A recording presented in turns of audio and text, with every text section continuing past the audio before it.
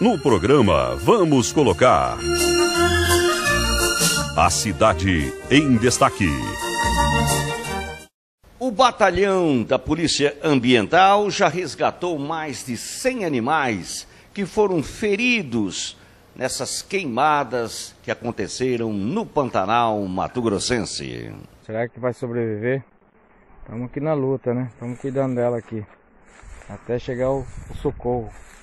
Ela tá com as patas bem queimadas. Já peguei alguns cascos. Tá bem ofegante. Colocamos esse pano para essas abelhas não perturbar muito. Estamos dando água e vai trazer um lençol para cobrir ela. Um lençol molhado porque a temperatura, o calor aqui é muito forte. Militar de proteção ambiental fazendo o resgate de um veado que se encontra muito ferido pelas queimadas. Está com as patas todas queimadas.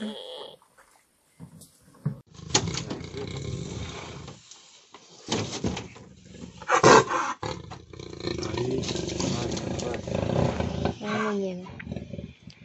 Vai, gata, vai. Tá doendo, vai. Tô doendo. Vai, garoto. Vai, garoto. Boa, garoto.